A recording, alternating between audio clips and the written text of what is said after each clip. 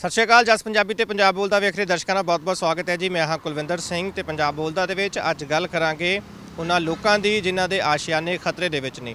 ਦਰਅਸਲ 3 ਮਾਰਚ 2020 ਨੂੰ ਪੰਜਾਬ ਅਤੇ ਹਰਿਆਣਾ ਹਾਈ ਕੋਰਟ ਨੇ ਸੁਖਨਾ ਲੇਕ ਦੇ ਆਸ-ਪਾਸ ਦੇ ਇਲਾਕਿਆਂ ਨੂੰ ਲੈ ਕੇ ਇੱਕ ਵੱਡਾ ਫੈਸਲਾ ਸੁਣਾਇਆ ਹੈ। ਕੋਰਟ ਨੇ ਕਿਹਾ ਹੈ ਕਿ ਲੇਕ ਦੇ ਆਸ-ਪਾਸ ਦੇ ਇਲਾਕਿਆਂ ਦੇ ਵਿੱਚ ਜੋ ਉਸਾਰੀਆਂ ਕੀਤੀਆਂ ਗਈਆਂ ਨੇ ਉਹ ਗੈਰ ਕਾਨੂੰਨੀ ਨੇ ਤੇ ਗੈਰ ਕਾਨੂੰਨੀ ਉਸਾਰੀਆਂ ਜਿਹੜੀਆਂ ਨੇ ਉਹ ਢਾਹ ਦਿੱਤੀਆਂ ਜਾਣ। ਇਸ ਨੂੰ ਲੈ ਕੇ ਪੰਜਾਬ ਸਰਕਾਰ ਅਤੇ ਨਾਲ ਦੀ ਨਾਲ ਹਰਿਆਣਾ ਸਰਕਾਰ ਨੂੰ ਹੁਕਮ ਜਾਰੀ ਕੀਤੇ ਗਏ ਨੇ। ਕੋਰਟ ਨੇ ਦੋਵਾਂ ਸਰਕਾਰਾਂ ਨੂੰ 3 ਮਹੀਨਿਆਂ ਦਾ ਸਮਾਂ ਦਿੱਤਾ ਹੈ ਅਤੇ ਅਜਿਹਾ ਨਾ ਕਰਨ ਦੀ ਸੂਰਤ ਵਿੱਚ 100 ਕਰੋੜ ਰੁਪਏ ਦਾ ਜੁਰਮਾਨਾ ਲਾਉਣ ਦੇ ਕੋਰਟ ਨੇ ਹੁਕਮ ਦਿੱਤੇ ਨੇ। ਪਰ ਕੋਰਟ ਦੇ ਇਹਨਾਂ ਹੁਕਮਾਂ ਤੋਂ ਬਾਅਦ ਇਹਨਾਂ ਇਲਾਕਿਆਂ ਦੇ ਵਿੱਚ ਰਹਿਣ ਵਾਲੀ ਵੱਡੀ ਆਬਾਦੀ ਜਿਹੜੀ ਹੈ, ਉਹ ਮੁਸ਼ਕਲਾਂ ਦਾ ਸਾਹਮਣਾ ਕਰ ਰਹੀ ਹੈ। ਲੋਕ ਪਰੇਸ਼ਾਨ ਨੇ ਕਿ ਆਖਰ ਉਹਨਾਂ ਦੇ ਆਸ਼ਿਆਨੇ ਕਿਉਂ ਉਜਾੜੇ ਜਾ ਰਹੇ ਨੇ। ਇਸੇ ਮਸਲੇ ਦੇ ਉੱਤੇ ਅੱਜ ਲੋਕਾਂ ਦੇ ਨਾਲ ਗੱਲਬਾਤ ਕਰਦੇ ਹਾਂ ਕਿ ਕੋਰਟ ਦੇ ਇਸ ਫੈਸਲੇ ਤੋਂ ਬਾਅਦ ਉਹ ਕਿਸ ਤਰ੍ਹਾਂ ਮਹਿਸੂਸ ਕਰ ਰਹੇ ਨੇ ਕੀ ਕੁਝ ਉਹਨਾਂ ਦੀ ਜ਼ਿੰਦਗੀ ਦੇ ਵਿੱਚ ਤਬਦੀਲੀ ਆਏਗੀ ਕੀ ਪ੍ਰਭਾਵ ਉਹਨਾਂ ਦੀ ਜ਼ਿੰਦਗੀ ਦੇ ਉੱਤੇ ਪੈ ਰਿਹਾ ਹੈ ਇਸ ਫੈਸਲੇ ਦੀ ਵਜ੍ਹਾ ਕਰਕੇ। ਉੱਥੇ ਹੀ ਅੱਗੇ ਇਸ ਫੈਸਲੇ ਦੇ, ਤੋਂ ਬਾਅਦ ਉਹ ਕੀ ਕੁਝ ਕਾਨੂੰਨੀ ਕਦਮ ਚੁੱਕਣਗੇ ਉਸ ਬਾਰੇ ਵੀ ਇਹਨਾਂ ਲੋਕਾਂ ਦੇ ਨਾਲ ਗੱਲਬਾਤ ਕਰਾਂਗੇ। ਤੇ ਪੰਜਾਬ ਅਤੇ ਹਰਿਆਣਾ ਹਾਈ ਕੋਰਟ ਨੇ ਬੀਤੇ ਦਿਨੀ ਇੱਕ ਵੱਡਾ ਫੈਸਲਾ ਸੁਣਾਇਆ। ਸੁਖਨਾ ਲੇਕ ਦੇ ਆਲੇ ਦੁਆਲੇ ਦੇ ਵੱਡੇ ਖੇਤਰ ਦੇ ਵਿੱਚ ਕੋਰਟ ਨੇ ਕਿਹਾ ਹੈ ਕਿ ਜਿੰਨੀਆਂ ਵੀ ਗੈਰ ਕਾਨੂੰਨੀ ਉਸਾਰੀਆਂ ਨੇ ਉਹਨਾਂ ਨੂੰ ਢਾਇਆ ਜਾਵੇ। ਇਸੇ ਵਜ੍ਹਾ ਕਰਕੇ ਵੱਡੇ ਪੱਧਰ ਦੇ ਉੱਤੇ ਲੋਕ ਪ੍ਰਭਾਵਿਤ ਹੋ ਰਹੇ ਨੇ ਜੋ ਕਿ ਬੀਤੇ ਕਈ ਸਾਲਾਂ ਤੋਂ ਇਹਨਾਂ ਇਲਾਕਿਆਂ ਦੇ ਵਿੱਚ ਰਹਿ ਰਹੇ ਨੇ। ਉਹਨਾਂ ਲੋਕਾਂ ਦੇ ਨਾਲ ਅਸੀਂ ਗੱਲਬਾਤ ਜਾਣ ਰਹੇ ਹਾਂ ਕਿ ਇਸ ਜੋ ਹੁਕਮ ਕੋਰਟ ਨੇ ਜਾਰੀ ਕੀਤੇ ਨੇ ਉਹਨਾਂ ਦੀ ਜ਼ਿੰਦਗੀ ਤੇ ਇਸ ਦਾ ਕਿਸ ਤਰੀਕੇ ਦਾ ਪ੍ਰਭਾਵ ਪੈ ਰਿਹਾ ਤੇ ਉਹ ਕੋਰਟ ਨੂੰ ਕੀ ਅਪੀਲ ਕਰਨਾ ਚਾਹੁੰਦੇ ਨੇ? ਮੈਮ ਤੁਹਾਡਾ ਨਾਮ ਕੀ ਹੈ ਜੀ? ਭਵਿੰਦਰਪਾਲ ਕੌਰ। ਮੈਮ ਤੁਸੀਂ ਦੱਸੋ ਕਿ ਜਿਹੜਾ ਕੋਰਟ ਨੇ ਆਰਡਰ ਦਿੱਤਾ ਹੈ ਜੀ ਇਹ, ਇਹਦੇ ਬਾਰੇ ਤੁਸੀਂ ਕੀ ਸੋਚਦੇ ਹੋ? ਕਿਵੇਂ ਦਾ ਆਰਡਰ ਬਿਲਕੁਲ ਗਲਤ ਆਰਡਰ ਦਿੱਤਾ ਅਪਰੂਵਡ ਜਗ੍ਹਾ 'ਚ ਅਸੀਂ ਆਪਣੇ ਘਰ ਬਣਾਏ ਨੇ। ਤੇ ਰੈਜ਼ੀਡੈਂਸ਼ੀਅਲ ਏਰੀਆ ਇਹ। ਤੇ ਇਹ ਕੋਰਟ ਕਿੱਦਾਂ ਇਹ ਅ, ਆਪਣਾ ਦੇ ਸਕਦੀ ਹੈ ਡਿਸੀਜਨ ਕਿੰਨੇ ਕੁ ਸਾਲਾਂ ਤੋਂ ਰਹਿ ਰਹੇ ਹੋ ਤੁਸੀਂ? ਅਸੀਂ 13 ਸਾਲ ਤੋਂ ਰਹਿ ਰਹੇ ਹਾਂ ਇੱਥੇ। ਹਾਂਜੀ। 13 ਸਾਲ ਤੋਂ ਰਹਿ ਰਹੇ ਹਾਂ। ਤੇ ਰਜਿਸਟਰੀਆਂ ਹੋਈਆਂ ਹੋਈਆਂ ਨੇ ਅਪਰੂਵ ਹੈ ਸਾਰਾ ਕੁਝ ਅੱਛਾ ਇਹ ਦੱਸੋ ਵੀ ਜਦ ਤੁਹਾਨੂੰ ਤੁਸੀਂ ਇਹ ਸੁਣੀ ਗੱਲ ਜਦੋਂ ਕੋਰਟ ਨੇ ਕਿਹਾ ਕਿ ਇਹ ਘਰ ਢਾਹ ਦਿਓ ਜਿਹੜੇ ਆਲੇ ਦੁਆਲੇ ਦੇ ਇਲਾਕੇ 'ਚ ਬਣੇ ਹੋਏ ਆ ਕਿੱਦਾਂ ਦਾ ਮਹਿਸੂਸ ਹੋਇਆ ਤੁਹਾਨੂੰ? ਤੁਸੀਂ ਜਾਣ ਸਕਦੇ ਹੋ ਇੱਕ ਬੰਦੇ ਨੂੰ ਘਰੋਂ ਉਜਾੜ ਦਿੱਤਾ ਜਾਏ ਉਹਨੂੰ ਕਿੱਦਾਂ ਦਾ ਮਹਿਸੂਸ ਹੋਏਗਾ? ਹੁਣ ਮੈਂ ਰਿਟਾਇਰਡ ਹਾਂ। ਹਸਬੰਡ ਮੇਰੇ ਹੈ ਨਹੀਂ। ਮੈਂ ਕਿੱਥੇ ਜਾਵਾਂਗੀ? ਇਹ ਦੱਸੋ। ਕੋਰਟ ਇਹ ਵੀ ਤਾਂ ਦੇਖੇ ਨਾ ਕਿ ਜਿਹੜੇ ਲੋਕੀ ਇੱਥੇ ਵਸੇ ਹੋਏ ਨੇ ਉਹ ਕਿਸ ਤਰ੍ਹਾਂ ਘਰ ਬਣਾ ਕੇ ਵਸੇ ਨੇ? ਕਿਸੇ ਨੇ ਲੋਨ ਲਿਆ ਇਸ ਉਮਰ ਤਾਂ ਸਾਨੂੰ ਕੋਈ ਲੋਨ ਵੀ ਨਹੀਂ ਦੇਗਾ ਅੱਗੋਂ ਘਰ ਬਣਾਉਣ ਲਈ। ਇਹ ਦੇਖੋ ਤੁਸੀਂ। ਤੁਸੀਂ ਕਿਹੜੇ ਡਿਪਾਰਟਮੈਂਟ 'ਚ ਕੰਮ ਕੀਤਾ ਹੈ ਮੈਂ ਪਬਲਿਕ ਰਿਲੇਸ਼ਨ ਡਿਪਾਰਟਮੈਂਟ 'ਚ ਕੰਮ ਕੀਤਾ। ਤੇ ਹੁਣ ਮੈਂ ਰਿਟਾਇਰਡ ਹਾਂ। ਤੇ ਹੁਣ ਤੁਸੀਂ ਆਪ ਹੀ ਦੇਖ ਸਕਦੇ ਹੋ ਇਸ ਉਮਰ ਵਿੱਚ ਅਸੀਂ ਘਰ ਬਣਾ ਸਕਦੇ ਹਾਂ। ਬਿਲਕੁਲ ਜੀ ਇੱਕ ਵੱਡਾ ਪ੍ਰਭਾਵ ਪੈ ਰਿਹਾ। ਮੈਮ ਤੁਹਾਡਾ ਕੀ ਨਾਮ ਹੈ ਜੀ? ਮੇਰਾ ਨਾਮ ਮਨਜੀਤ ਕੌਰ ਹੈ। ਤੇ ਮੈਮ ਤੁਸੀਂ ਦੱਸੋ ਕਿ ਤੁਸੀਂ ਜਦੋਂ ਕੋਰਟ ਦੇ ਇਹਨਾਂ ਆਰਡਰਾਂ ਬਾਰੇ ਸੁਣਿਆ, ਕਿਵੇਂ ਤੁਹਾਨੂੰ ਮਹਿਸੂਸ ਹੋਇਆ ਤੇ ਤੁਸੀਂ ਕੀ, ਕਿਵੇਂ ਲੱਗ ਰਿਹਾ ਤੁਹਾਨੂੰ ਕਿ ਇਸ ਕਿਸ ਤਰੀਕੇ ਤੁਹਾਡੀ ਜ਼ਿੰਦਗੀ ਨੂੰ ਪ੍ਰਭਾਵਿਤ ਕਰੇਗਾ? ਦੇਖੋ ਜੀ, ਜ਼ਿੰਦਗੀ ਤੇ ਪੂਰੀ ਇਹਦੇ ਤੇ ਕੋਰਟ ਦੇ ਆਰਡਰ ਦੇ ਆਉਣ ਤੋਂ ਬਾਅਦ ਤੇ ਪ੍ਰਭਾਵਿਤ ਹੀ ਹੈ। ਅਸੀਂ ਕੁਝ ਸੋਚ ਹੀ ਨਹੀਂ ਪਾ ਰਹੇ ਕਿ ਅਸੀਂ ਇਹ ਫਿਊਚਰ ਵਿੱਚ ਅਸੀਂ ਕੀ ਕਰ ਰਹੇ ਹਾਂ ਔਰ ਕੀ ਕਰਾਂਗੇ। ਕਿ ਸਾਡੇ ਨਾਲ ਅਗਰ ਇੰਨਾ ਅਨਿਆਏ ਹੋਏਗਾ ਤੇ ਤੇ ਅਸੀਂ ਟੋਟਲੀ ਖਿਲਾਫ ਹਾਂ ਇਸ ਕੋਰਟ ਦੇ ਫੈਸਲੇ ਤੋਂ। ਤੁਹਾਨੂੰ ਲੱਗਦਾ ਕਿ ਕੋਰਟ ਨੇ ਲੀਗਲ ਤੇ ਇਲੀਗਲ ਦੋ ਗੱਲਾਂ ਕਹੀਆਂ ਨੇ ਕਿ ਜਿਹੜੀਆਂ ਗੈਰ ਅ, ਕਾਨੂੰਨੀ ਤੌਰ ਤੇ ਜਿਹੜੀਆਂ ਚੀਜ਼ਾਂ ਉਸਾਰੀਆਂ ਗਈਆਂ ਨੇ। ਤੁਹਾਨੂੰ ਕੀ ਲੱਗਦਾ ਹੈ ਕਿ ਤੁਸੀਂ ਜਿਹੜੇ ਘਰ ਨੇ ਤੁਹਾਡੇ ਉਹ ਲੀਗਲ ਤੌਰ ਦੇ ਉੱਤੇ ਬਣੇ ਹੋਏ ਨੇ ਪਰ ਕੋਰਟ ਨੇ ਤੁਹਾਡੀ ਗੱਲ ਸੁਣੀ ਨਹੀਂ? ਬਿਲਕੁਲ ਜੀ ਇਹ ਲੀਗਲ ਨੇ। ਰੈਜ਼ੀਡੈਂਸ਼ੀਅਲ ਏਰੀਆ 'ਚ ਅਸੀਂ ਰਹਿ ਰਹੇ ਹਾਂ ਔਰ ਕੋਰਟ ਨੇ ਕਿਸੇ ਦਾ ਪੱਖ ਸੁਣਿਆ ਹੀ ਨਹੀਂ। ਕਿੰਨੇ ਸਾਲ ਹੋ ਗਏ ਤੁਹਾਨੂੰ ਅਸੀਂ 2006 ਤੋਂ ਰਹਿ ਰਹੇ ਹਾਂ ਇੱਥੇ। 2006 ਤੋਂ ਹਾਂਜੀ। ਤੁਹਾਡਾ ਕੀ ਨਾਮ ਹੈ ਜੀ? ਮੇਰਾ ਨਾਮ ਸੁਰਿੰਦਰ ਸਿੰਘ ਹੈ। ਤੁਸੀਂ ਦੱਸੋ ਸਰ ਸਰ ਜੋ ਕੋਰਟ ਦੇ ਆਰਡਰ ਨੇ ਇਹ ਤੁਹਾਡੀ ਜ਼ਿੰਦਗੀ ਕਿਸ ਤਰੀਕੇ ਪ੍ਰਭਾਵਿਤ ਹੋਏਗੀ ਇਹਨਾਂ ਨਾਲ मैं हूँ सर रिटायर आज में आर्मी में था मैं जो हमारी जमा पूंजी थी वो तो सब ख़त्म हो गई घर बनाने में घर का अ, ज़मीन लेने में उसके बाद हमने म- घर बनाया बच्चों को पढ़ाया लिखाया अभी आज की डेट में कुछ है नहीं सिर्फ घर के सिवाय अब मैं यहाँ पर 2006 से रह रहा हूँ तो 2006 के बाद अभी आप ये बताओ कि जब अ, हमारा गवर्नमेंट या हमारा हाई कोर्ट ऐसा फैसला देगा तो हम लोग कैसे रह सकते हैं बताओ हमारा दिम, दिल और दिमाग कैसे काम करेगा अभी है भी नहीं कुछ भी नहीं है जो था हमने अपने सारे घर में लगा दिया तो अब हम गवर्नमेंट से हाई कोर्ट से ये अपील करेंगे एक बार सोचो दुनिया के लिए सोचो हमारे लिए सोचो अपने लिए सोचो देश के लिए सोचो हम लोग देशवासी हैं ना बाहर से तो आए नहीं तो आप लोग ਸਰ ਤੁਸੀਂ ਕੀ ਕਹਿਣਾ ਚਾਹੋਗੇ ਤੁਸੀਂ ਦੱਸੋ ਤੁਹਾਡਾ ਨਾਮ ਕੀ ਹੈ ਮੇਰਾ ਨਾਮ ਬਲਬੀਰ ਸਿੰਘ ਹੈ ਤੇ ਮੈਂ ਕਹਿਣਾ ਚਾਹਾਂਗਾ ਕਿ ਅਸੀਂ 86 ਤੇ ਇੱਥੇ ਆਏ ਹਾਂ ਆਫਟਰ ਰਾਈਟਸ ਕਾਨਪੁਰ ਤੋਂ, ਹੈ, ਔਰ ਇੱਥੇ ਆ ਕੇ ਅਸੀਂ ਪ੍ਰਾਈਵੇਟ ਜੌਬ ਕੀਤੀ, ਹੁਣ ਇਸ ਟਾਈਮ ਪਰ ਰਿਟਾਇਰ ਹਾਂ, ਸਾਰੀ ਜਮ੍ਹਾਂ ਪੂੰਜੀ ਲਗਾ ਕੇ ਇੱਥੇ ਅਸੀਂ ਆਪਣਾ ਮਕਾਨ ਬਣਾਇਆ। ਨੋਟੀਫਾਈ ਏਰੀਆ ਕਮੇਟੀ ਡਿਕਲੇਅਰ ਹੋਈ ਹੋਈ ਹੈ। ਸਭ ਕੁਝ ਹੈ ਔਰ ਇੱਥੇ ਅਸੀਂ ਆਪਣਾ ਜਮ੍ਹਾਂ ਪੂੰਜੀ ਲਗਾ ਕੇ ਲੋਨ ਲੈ ਕੇ ਅਸੀਂ ਕੰਮ, ਮਕਾਨ ਨੂੰ ਬਣਾ ਕੇ ਰਹਿਣਾ ਚਾਲੂ ਕੀਤਾ ਹੁਣ ਇਹ ਆਰਡਰ ਨਾਲ ਤੇ ਸਾਡੀ ਰਾਤ ਦੀ ਨੀਂਦ ਵੀ ਖਤਮ ਹੋ ਗਈ ਨਾ ਹੁਣ ਕੋਈ 60 ਸਾਲ ਦੀ ਉਮਰ 'ਚ ਨੌਕਰੀ ਮਿਲਣੀ ਨਾ ਕੰਮ ਹੋਣਾ। ਨਾ ਜੱਜ ਸਾਹਿਬ ਨੇ ਗਰਾਊਂਡ ਰਿਐਲਿਟੀ ਆ ਕੇ ਦੇਖਿਆ ਤੇ ਦੋ ਮਰਲੇ, ਚਾਰ ਮਰਲੇ 6 ਮਰਲੇ ਵਾਲੇ ਮਕਾਨ ਵਾਲੇ ਲੋਕ ਬੈਠੇ ਨੇ। ਮੈਂ ਤੁਹਾਡੇ ਸਾਰਿਆਂ ਕੋਲੋਂ ਜਾਣਨਾ ਚਾਹੂੰਗਾ ਜਿਵੇਂ ਹੁਣ ਕੋਰਟ ਨੇ ਆਰਡਰ ਕਰਤੇ ਹੈ 3 ਮਹੀਨੇ ਦਾ ਸਮਾਂ ਦੇ ਦਿੱਤਾ ਹੈ ਕੋਰਟ ਨੇ। ਅੱਗੇ ਤੁਹਾਨੂੰ ਕੀ ਲੱਗਦਾ ਹੈ ਕਿ ਅੱਗੇ ਹੁਣ ਹਾਈ ਸੁਪਰੀਮ ਕੋਰਟ ਦਾ ਤੁਹਾਡੇ ਕੋਲ ਆਪਸ਼ਨ ਹੈਗੀ ਹੈ ਪਰ ਜੇ ਆਰਡਰ ਇਸੇ ਤਰੀਕੇ ਜਾਰੀ ਰਹਿੰਦੇ ਆ ਕੀ ਤੁਸੀਂ ਅੱਗੇ ਕੀ ਐਕਸ਼ਨ ਕਰਨਾ ਚਾਹੋਗੇ? ਕੀ ਤੁਹਾਡਾ ਅੱਗੇ ਕਦਮ ਰਹੇਗਾ? ਦੇਖੋ ਅਸੀਂ ਤਾਂ ਚਾਹਾਂਗੇ ਹੀ ਨਹੀਂ ਵੀ ਇਹ ਕੁਝ ਹੋਵੇ। ਕਿਉਂਕਿ ਅਸੀਂ ਹੁਣ ਇਸ ਪੋਜੀਸ਼ਨ 'ਚ ਨਹੀਂ ਆ ਕਿ ਅਸੀਂ ਦੁਬਾਰਾ ਘਰ ਬਣਾ ਸਕੀਏ। ਅਸੀਂ ਤੇ ਇੱਥੇ ਹੀ ਰਹਿਣਾ ਚਾਹਾਂਗੇ। ਕੋਰਟ ਨੂੰ ਰਿਕੁਐਸਟ ਹੀ ਕਰ ਸਕਦੇ ਹਾਂ ਬਈ ਸਾਡੇ ਨਾਲ ਨਿਆਂ ਕੀਤਾ ਜਾਵੇ ਤੇ ਸਾਨੂੰ ਇੱਥੇ ਰਹਿਣ ਦਿੱਤਾ ਜਾਵੇ।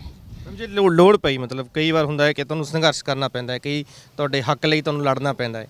ਲੱਗਦਾ ਹੈ ਕਿ ਜੇਕਰ ਕੋਰਟ ਇਸੇ ਤਰੀਕੇ ਜੇਕਰ ਸਖਤੀ ਜਾਰੀ ਰਹਿੰਦੀ ਹੈ ਤਾਂ ਤੁਸੀਂ ਉਹ ਸੰਘਰਸ਼ ਕਰੋਗੇ ਫਿਰ ਦੇਖੋ ਸਾਡਾ ਰਾਈਟ ਸੀ ਅਸੀਂ ਸੰਘਰਸ਼ ਵੀ ਕਰ ਸਕਦੇ ਹਾਂ ਉਹਦੇ ਵਾਸਤੇ ਸਾਨੂੰ ਆਪਣੀ ਜਾਨ ਵੀ ਦੇਣੀ ਪਈ ਅਸੀਂ ਜ਼ਰੂਰ ਦੇਵਾਂਗੇ ਘਰ ਤੋਂ ਅੱਗੇ ਕੋਈ ਚੀਜ਼ ਨਹੀਂ ਆਉਂਦੀ ਜਿੱਥੇ ਸਾਡੀ ਸਾਰੀ ਜਮਾ ਪੂੰਜੀ ਲੱਗੀ ਹੋਈ ਹੈ ਇੱਥੇ ਸਰ ਤੁਸੀਂ ਦੱਸੋ ਤੁਸੀਂ ਕੀ ਕਹਿਣਾ ਚਾਹੋਗੇ ਤੇ ਜੇਕਰ ਇਹ ਇਸੇ ਤਰੀਕੇ ਵਾਪਸ ਨਾ ਹੋਏ ਆਰਡਰ ਜੇ ਇਸੇ ਤਰੀਕੇ ਨਾਲ ਦਬਾਅ ਬਣਦਾ ਰਿਹਾ ਅੱਗੇ ਤਾਂ ਕੀ ਸਥਿਤੀ ਰਹੇਗੀ ਫਿਰ? हम तो यही चाहते हैं कि गवर्नमेंट जो है हमारे बात को सुने और जो बसी बुसाए घर हैं, उनको उजाड़ने में अपनी भूमिका नहीं निभाए और जितने भी लोग यहाँ हैं, उनको शांतिपूर्वक रहने दें। जो उन लोगों का, अब ऐसा है सर हम लोग यहाँ पर जो है ना, ऐसे तो है नहीं कि भाई हम कहीं से भाग के आ गए और यहाँ घर बना लिया। यहाँ पर पूरी ज़मीन काटी हुई है घरों के लिए, है ना? हमारा कोलोनाइजर है, उसने यहाँ सब कुछ बना रखा है, पूरे पूरे जो है फ्लैट काटे हुए हैं सबको दिया हुआ है। तो फिर इसमें कोई बात ही नहीं है कि भाई हम लोग को यहाँ से हटाने की कोशिश करें। ਸਰ ਤੁਸੀਂ ਕੀ ਕਹਿਣਾ ਚਾਹੋਗੇ? ਕੋਰਟ ਨੂੰ ਕੀ ਅਪੀਲ ਕੀ ਕਰਨਾ ਚਾਹੋਗੇ? ਤੇ ਜੇਕਰ ਇਸੇ ਤਰੀਕੇ ਦਾ ਦਬਾਅ ਬਣਿਆ ਰਹਿੰਦਾ ਹੈ ਤਾਂ ਕੀ ਕੁਝ ਕਦਮ ਰਹੇਗਾ? ਸਰ ਅਸੀਂ ਸਾਰੇ ਇਕੱਠੇ ਹੋ ਰਹੇ ਹਾਂ ਕਿ ਕਿਸੇ ਤਰੀਕੇ ਆ ਜਿਹੜੀ ਸਾਡੇ ਮੁਸੀਬਤ ਆਈ ਆ ਤੇ ਤੁਸੀਂ ਉੱਠ ਜਾਈਏ ਪਾਰ ਪਾਈਏ।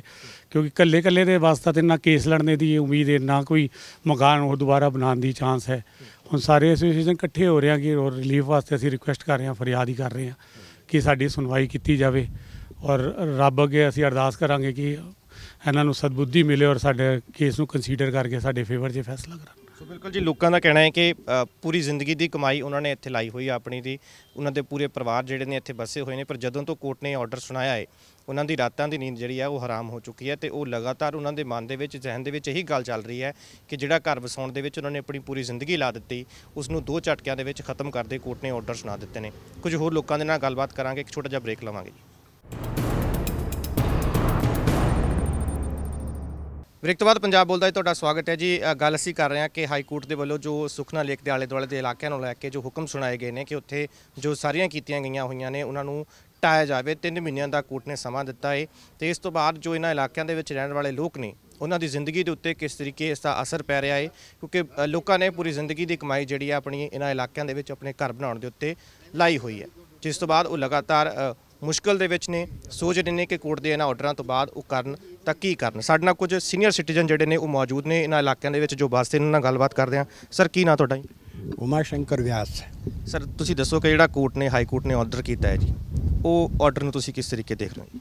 ਇਹ ਤਾਂ ਇਟਸ ਇਟਸ ਇਟਸ ਇਟਸ मतलब कंप्लीटली इलीगल और कंप्लीटली मैंने हॉस्टाइल डिसीजन अब हम लोगों के लिए तो ये मकान है और क्या क्या पूंजी है हमारी? I I was working with a private company हमारी कोई पेंशन नहीं है कोई कुछ नहीं है. Whatever you we have got it has already been invested here अब मैं कैसे उसको दोबारा बनाऊँगा और इस seventy I am seventy seven अब मैं कैसे उनको वापस बना पाऊँगा? और मैं इस पोजीशन में भी नहीं हूँ कि कोई कंस्ट्रक्शन करवा के दो कमरे बना दूँ अपने। तो वैसे भी पैसे की कमी है एज भी है अब उस उस हालात में ये डिसीजन हमारे लिए तो एक बिल्कुल श्राप है ये इससे इससे रियली वेरी शॉकिंग ਫਿਰ ਕੋਰਟ ਨੇ ਇਹ ਚੀਜ਼ ਨੂੰ ਸੋਚਿਆ नहीं है इस बारे कि बहुत सारे बिल्कुल नहीं सोचा साहब बिल्कुल नहीं सोचा बल्कि डिसीजन में भी एक वन साइडेड डिसीजन है वो जो उन्होंने कह दिया जो अपोनेंट पार्टी है उन्होंने कह दिया उसको मान लिया हम लोगों की एक बात को नहीं सुनी उन्होंने अब ये जस्टिस से हम उम्मीद थोड़ी कर सकते हैं भाई कि भाई ये दोनों की बात सुनेगा फिर बाद में कोई अपना निर्णय देगा यहाँ पे तो कुछ भी नहीं हुआ एक तरफ से हो गया और हम लोग तो अब उस बेघर हो जाएंगे फिर इस तरह से होगा तो फिर कहाँ जाएंगे आप मुझे गवर्नमेंट से भी उम्मीद है कि वो भी कुछ सह- सहायता करे कुछ वापस ये जो उनके गवर्नमेंट अपना जजेज हैं उनको भी कुछ अक- भगवान की तरफ से कोई अकल आए और वो हमको कुछ सहारा दें उसमें ਤੇ ਕੋਰਟ ਨਾਲ ਕਿੰਨਾ ਕੁ ਪ੍ਰਭਾਵ ਹੈ 8-10 ਸਾਲ ਹੋ ਗਏ ਮੈਨੂੰ ਕਹਿੰਦੇ ਇੱਥੇ ਇੱਕ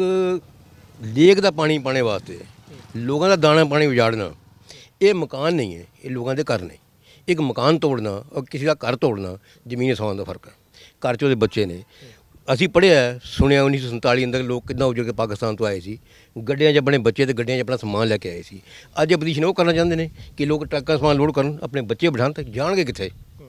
ਕੀ ਜਰੀਆ, ਕੀ ਉਹ ਕੀ ਪ੍ਰੋਸੀਜਰ ਦੇਖ ਲੈਣ ਕਿ ਤੁਸੀਂ ਵਹਾਂ ਜਾਓਗੇ, ਵਹਾਂ ਜਾ ਕੇ ਰਹੋਗੇ? ਇੱਕ 25 ਲੱਖ ਦੇਣਾ ਕੀ ਹੋ ਜਾਂਦਾ ਬੰਦਾ? ਉਹ ਉਹ ਤਾਂ ਕੋਰਟ ਨੇ ਤਾਂ ਫੈਸਲਾ ਕਰਤਾ ਕਿ 25 ਲੱਖ ਦੇ ਦੇਵਾਂਗੇ।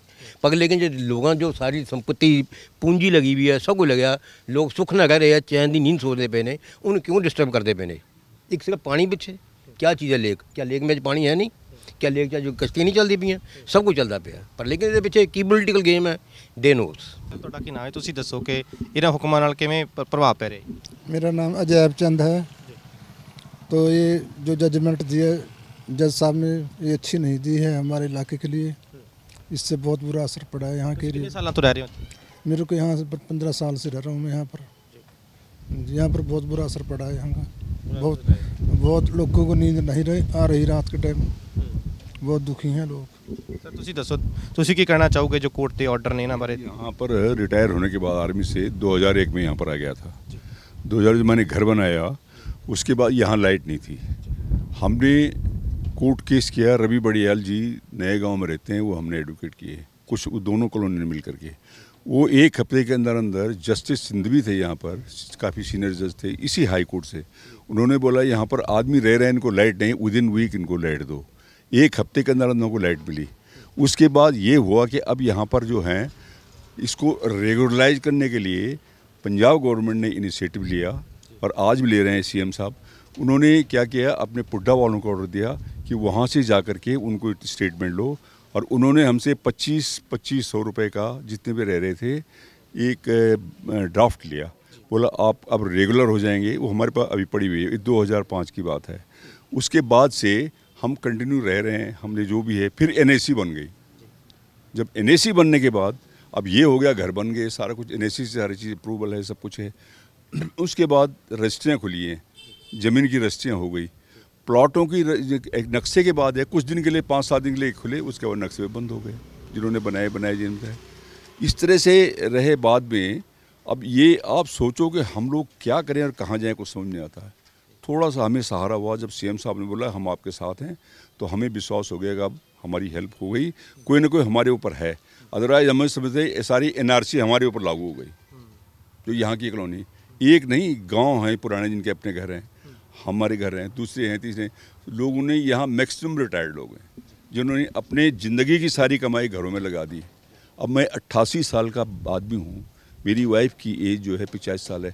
हम कहाँ जाएँ इस टाइम पर किसको पकड़े किसके घर में जाएं ਕੀ ਕੀ ਕਹਿਣਾ ਚਾਹੋਗੇ ਕਿ ਇੱਕ ਰਹਿਣ ਵਾਲੇ ਤੌਰ ਤੇ ਤੁਸੀਂ ਜਿਹੜੇ ਰਹਿਣ ਵਾਲੇ ਲੋਕ ਨੇ ਇੱਥੇ ਉਹਨਾਂ ਦੀ ਜ਼ਿੰਦਗੀ ਕਿਵੇਂ ਪ੍ਰਭਾਵਿਤ ਹੋਈ ਇਹਨਾਂ ਦੇ ਨਾਲ ਉਹ ਸਾਰੇ ਸਟ੍ਰੈਸ 'ਚ ਆ ਗਏ ਪਹਿਲੀ ਗੱਲ ਤਾਂ ਓਬਵੀਅਸਲੀ ਸਭ ਤੋਂ ਵੱਡਾ ਸਟ੍ਰੈਸ ਹੁੰਦਾ ਹੈ ਇੱਕ ਹੁੰਦਾ ਹੈ ਕਿ ਪੈਸੇ ਵੱਲੋਂ ਮਾਰ ਪੈਂਦੀ ਹੈ, ਇੱਕ ਹੁੰਦੀ ਮਕਾਨ ਵੱਲੋਂ ਕਿਸੇ ਨੂੰ ਮਾਰ ਪੈ ਜੇ ਤੇ ਬੰਦਾ ਕਿੱਥੇ ਜਾਊਗਾ ਠੀਕ ਹੈ ਜੀ ਪੈਸੇ ਦੀ ਘਾਟ ਤਾਂ ਤੁਸੀਂ ਫਿਰ ਥੋੜੀ ਸਹਿਨ ਕਰ ਲੈਂਦੇ ਹੋ ਹੁਣ ਮਕਾਨ ਨਹੀਂ ਹੋਊਗਾ ਤਾਂ ਬੰਦਾ ਕਿੱਥੇ ਜਾਊਗਾ ਉਹ ਤਾਂ ਮਤਲਬ ਤੁਸੀਂ ਸੋਚ ਹੀ ਨਹੀਂ ਸਕਦੇ ਤਾਂ ਸਭ ਤੋਂ ਵੱਡਾ ਲਾਸ ਹੈ ਬੰਦੇ ਦਾ ਇੰਨਾ ਟਾਈਮ ਲਾ ਜਿਹੜਾ ਕੇ ਲੇ- ਲੇਕ ਦਾ ਹਵਾਲਾ ਦਿੱਤਾ ਹੈ ਕਿ ਲੇਕ ਬਚਾਉਣੀ ਹੈ ਉਹ ਉਹ ਤੁਹਾਨੂੰ ਕੀ ਲੱਗਦਾ ਹੈ ਕਿ ਉਹ ਤਰਕ ਕਿੰਨਾ ਕੁ ਜਾਇਜ਼ ਹੈ? ਜਾਂ ਤੁਹਾਨੂੰ ਲੱਗਦਾ ਹੈ ਕਿ ਤੁਸੀਂ ਲੇਕ ਦੇ ਨਾਂ ਦੇ ਉੱਤੇ ਹਜ਼ਾਰਾਂ ਲੋਕਾਂ ਨੂੰ ਉਜਾੜ ਰਹੇ ਹੋ ਤੇ ਇਹ ਪੂਰੀ ਤਰ੍ਹਾਂ ਦੇ ਨਾਲ ਗਲਤ ਹੈ? ਸਰ ਬਿਲਕੁਲ ਗਲਤ ਹੈ ਐਬਸੋਲੂਟਲੀ ਰੋਂਗ ਹੈ। ਜੇ ਪ੍ਰੋਪਰ ਫੈਕਟਸ ਨੂੰ ਸਟੱਡੀ ਕਰੀਏ ਸਾਇੰਟੀਫਿਕ ਅਪਰੋਚ ਆਪਾਂ ਲਾਈਏ ਤੇ ਉਹਦੇ ਵਿੱਚ ਆਪਾਂ ਇਹੀ ਦੇਖਾਂਗੇ ਕਿ ਲੇਕ ਦਾ ਇਹਦੇ ਨਾਲ ਕੁਝ ਲੈਣਾ ਦੇਣਾ ਹੈ ਹੀ ਨਹੀਂ, ਪਹਿਲੀ ਗੱਲ ਤਾਂ। ਪਰ ਉਹਨੂੰ ਸਮਝਣ ਵਾਸਤੇ ਸਾਨੂੰ ਸਾਡੀ ਕੋਈ ਜੇ ਗੱਲ ਸੁਨੇਗਾ ਜੇ ਫੈਕਟਸ ਨੂੰ ਅੰਡਰਸਟੈਂਡ ਕਰੇਗਾ, ਤਾਂ ਹੀ ਤਾਂ ਸਾਹਮਣੇ ਵਾਲੇ ਨੂੰ ਵੀ ਗੱਲ ਸਮਝ ਆਊਗੀ। ਜੇ ਆਪਾਂ ਪਹਿਲਾਂ ਤੋਂ ਹੀ ਬਾਇਸਡ ਬੈਠੇ ਹਾਂ ਕਿਸੇ ਚੀਜ਼ ਵਾਸਤੇ, ਤੇ ਫਿਰ ਆਪਾਂ ਓਪਨ ਮਾਈਂਡ ਨਾਲ ਕੋਈ ਡਿਸੀਜਨ ਲੈ ਨਹੀਂ ਸਕਦੇ। ਆਪਾਂ ਇਹ ਉਮੀਦ ਕਰਦੇ ਹਾਂ ਕਿ ਯਾਰ ਸਾਡੀ ਜਿਹੜੀ ਗੱਲ ਹੈ, ਉਹ ਤਰੀਕੇ ਨਾਲ ਸੁਣੀ ਜਾਏ। ਸੁਣ ਕੇ ਫਿਰ ਤੁਸੀਂ ਆਪਣਾ ਕੋਈ ਫੈਸਲਾ ਸੁਣਾਓ ਤੇ ਤੁਹਾਨੂੰ ਆਪ ਨੂੰ ਹੀ ਲੱਗੂਗਾ ਕਿ ਯਾਰ ਇਹ ਫੈਸਲਾ ਜਿਹੜਾ ਹੁਣ ਆਇਆ ਹੈ, ਇਹ ਬਿਲਕੁਲ ਹੀ ਨਾਜਾਇਜ਼ ਫੈਸਲਾ, ਜਾਇਜ਼ ਹੈ ਹੀ ਨਹੀਂ। ਉਹਦੇ ਵਾਸਤੇ ਜਿਹੜੇ ਫੈਕਟਸ ਹੈ ਪ੍ਰੋਪਰ ਸਟੱਡੀ ਕਰਨੇ ਜ਼ਰੂਰੀ ਹੈ ਜਿਹੜੇ ਸਾਡੇ ਟੀਮ ਕੋਲ ਪ੍ਰੋਪਰਲੀ ਅਵੇਲੇਬਲ ਹੈਗੇ ਹੈ ਰਿਸੋਰਸਸ ਹੈਗੇ ਹੈ ਸਾਨੂੰ ਪੋਰਟਰੇ ਕਰਨ ਵਾਸਤੇ ਉਹਨਾਂ ਨੂੰ ਪ੍ਰੋਪਰ ਤਰੀਕੇ ਨਾਲ ਬਟ ਸਾਹਮਣੇ ਵਾਲਾ ਦੀ ਅਪਰੋਚ ਹੋਣੀ ਚਾਹੀਦੀ ਹੈ ਕਿ ਉਹ ਓਪਨ ਮਾਈਂਡ ਨਾਲ ਉਸ ਚੀਜ਼ ਨੂੰ ਸੁਣੇ ਵੀ। ਤੁਹਾਨੂੰ ਲੱਗਦਾ ਹੈ ਕਿ ਹੁਣ ਅੱਗੇ ਜੇਕਰ ਸੁਪਰੀਮ ਕੋਰਟ ਜਾਂਦੇ ਹੋ ਤਾਂ ਉੱਥੇ ਸੁਣਵਾਈ ਹੋਏਗੀ ਸਹੀ ਤਰੀਕੇ? ਹੋਣੀ ਚਾਹੀਦੀ ਹੈ ਸਰ ਅਸੀਂ ਤਾਂ ਬਿਲਕੁਲ ਮਤਲਬ ਅਸੀਂ ਤਾਂ ਕਹਿੰਦੇ ਹਾਂ ਕਿ ਹਾਈ ਕੋਰਟ ਵਿੱਚ ਵੀ ਹੋਣੀ ਚਾਹੀਦੀ ਹੈ ਦੁਬਾਰਾ ਤੇ ਜੇ ਸੁਪਰੀਮ ਕੋਰਟ ਜਾਣਾ ਪੈਂਦਾ ਤੇ ਸੁਪਰੀਮ ਕੋਰਟ ਵਿੱਚ ਵੀ ਪ੍ਰੋਪਰ ਤਰੀਕੇ ਨਾਲ ਹੋਣੀ ਚਾਹੀਦੀ ਹੈ। ਹਰ ਬੰਦਾ ਹੀ ਆਸ ਲਾ ਕੇ ਬੈਠਦਾ। ਤੇ ਇਹੀ ਆਸ ਸੀਗੀ ਪਹਿਲਾਂ ਵੀ। ਉਹ ਬਿਲਕੁਲ ਹੀ ਪੁੱਠਾ ਹੋ ਗਿਆ ਉਹਦੇ।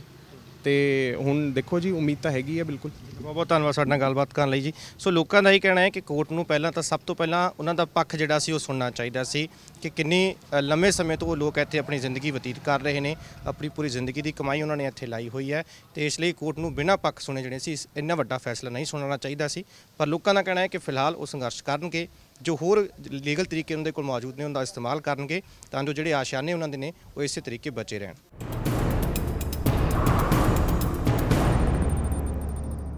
ਪੰਜਾਬ ਅਤੇ ਹਰਿਆਣਾ ਹਾਈ ਕੋਰਟ ਦੇ ਵੱਲੋਂ ਵੱਡੇ ਹੁਕਮ ਬੀਤੇ ਦਿਨੀ ਸੁਣਾਏ ਗਏ ਸੀ ਕਿ ਸੁਖਨਾ ਲੇਕ ਦੇ ਆਲੇ ਦੁਆਲੇ ਦੇ ਇਲਾਕਿਆਂ ਦੇ ਵਿੱਚ ਜੋ ਉਸਾਰੀਆਂ ਨੇ, ਉਹਨਾਂ ਨੂੰ ਢਾਉਣ ਦੇ ਕੋਰਟ ਨੇ ਹੁਕਮ ਜਾਰੀ ਕੀਤੇ। ਤਿੰਨ ਮਹੀਨਿਆਂ ਦਾ ਸਮਾਂ ਕੋਰਟ ਨੇ ਜਿਹੜਾ ਹੈ ਉਹ ਪ੍ਰਸ਼ਾਸਨ ਨੂੰ ਦਿੱਤਾ ਹੈ ਸਾਫ਼ ਤੌਰ ਤੇ ਕਿਹਾ ਗਿਆ ਹੈ ਕਿ ਇਹਨਾਂ ਇਲਾਕਿਆਂ ਦੇ ਵਿੱਚ ਜੋ ਉਸਾਰੀਆਂ ਹੋਈਆਂ ਹੋਈਆਂ ਨੇ, ਉਹਨਾਂ ਨੂੰ ਢਾ ਦਿੱਤਾ ਜਾਵੇ। 50000 ਦੇ ਕਰੀਬ ਉਸ ਤੋਂ ਵੀ ਵੱਡੀ ਗਿਣਤੀ ਦੇ ਵਿੱਚ ਲੋਕ ਜਿਹੜੇ ਨੇ ਇਲਾਕਿਆਂ ਦੇ ਵਿੱਚ ਵਸਦੇ ਨੇ, ਇਹਨਾਂ ਹੁਕਮਾਂ ਦਾ, ਉਹਨਾਂ ਦੀ ਜ਼ਿੰਦਗੀ ਤੇ ਸਿੱਧਾ ਪ੍ਰਭਾਵ ਪਿਆ ਹੈ ਔਰ ਇਸ ਪੂਰੇ ਫੈਸਲੇ ਤੋਂ ਬਾਅਦ ਕੀ ਕੁਝ ਮੁਸ਼ਕਲਾਂ ਦਾ ਸਾਹਮਣਾ ਲੋਕ ਕਰ ਰਹੇ ਨੇ ਤੇ ਅੱਗੇ ਕਿਸ ਤਰੀਕੇ ਇਸ ਨਾਲ ਉਹ ਨਜਿੱਠਣਗੇ ਤੇ ਕੀ ਕੁਝ ਕਮੀਆਂ ਪੇਸ਼ੀਆਂ ਜਿਹੜੀਆਂ ਨੇ ਕੋਰਟ ਦੇ ਵੱਲੋਂ ਸੁਣਾਏ ਗਏ ਫੈਸਲੇ ਦੇ ਵਿੱਚ ਉਹ ਵੇਖ ਰਹੇ ਨੇ। ਉਸ ਬਾਰੇ ਗੱਲਬਾਤ ਕਰਨ ਲਈ ਸਾਡੇ ਨਾਲ Sukhna enclave residence welfare society ਦੇ ਕੁਝ ਮੈਂਬਰ ਮੌਜੂਦ ਨੇ, ਉਹਨਾਂ ਨਾਲ ਗੱਲਬਾਤ ਕਰਦੇ ਹਾਂ। ਸਰ, ਸਭ ਤੋਂ ਪਹਿਲਾਂ ਆਪਣਾ ਨਾਮ ਤੇ ਆਪਣਾ ਡੈਸੀਗਨੇਸ਼ਨ ਦੱਸੋ। ਮੇਰਾ ਨਾਮ ਪੀਐਸ ਪਿੰਡਰ ਹੈ ਜੀ, ਮੈਂ Sukhna enclave residents welfare association ਦਾ ਜਨਰਲ ਸੈਕਟਰੀ ਹਾਂ। ਪਿੰਡਰ ਸਾਹਿਬ ਹੁਣ ਸਾਨੂੰ ਸਭ ਤੋਂ ਪਹਿਲਾਂ ਨਾ ਥੋੜਾ ਜਿਹਾ ਲੀਗਲੀ ਤੌਰ ਤੇ ਇਸ ਪੂਰੇ ਫੈਸਲੇ ਬਾਰੇ ਦੱਸੋ। ਇਹਦਾ ਪਿਛੋਕੜ ਕੀ ਰਿਹਾ? ਕਿਵੇਂ ਇਹ ਪੂਰੀ ਚੀਜ਼ ਜਿਹੜੀ ਸੀ ਅੱਜ ਇਸ ਥਾਂ ਤੇ ਪਹੁੰਚ ਗਈ ਕਿ ਕੋਰਟ ਨੂੰ ਇੰਨਾ ਵੱਡਾ ਫੈਸਲਾ ਸੁਣਾਉਣਾ ਪਿਆ? ਦੇਖੋ ਇਹ ਜਿਹੜਾ ਕੇਸ ਹੈ 2009 ਦੇ ਵਿੱਚ ਇਹ ਸਟਾਰਟ ਹੋਇਆ। ਐਟ that ਟਾਈਮ ਜਿਹੜੀ ਸੁਖਨਾ ਲੇਕ ਹੈ ਇਹਦੇ 'ਚ ਪਾਣੀ ਸੁੱਕ ਗਿਆ ਸੀਗਾ। ਔਰ ਉਸ ਵੇਲੇ ਇੱਕ ਮਿਸਟਰ ਗੌਤਮ ਖੰਨਾ ਸੀਗਾ ਉਹਨੇ ਚੀਫ ਜਸਟਿਸ ਜਿਹੜਾ ਪੰਜਾਬ ਰਹਿਣਾ ਉਹ ਇੱਕ ਲੈਟਰ ਲਿਖਿਆ ਕਿ ਇੱਥੇ ਝੀਲ ਸੁੱਕ ਰਹੀ ਹੈ ਔਰ ਐਡਮਿਨਿਸਟ੍ਰੇਟਿਵ ਵਾਸ ਕੁਝ ਕਰ ਨਹੀਂ ਰਿਹਾ।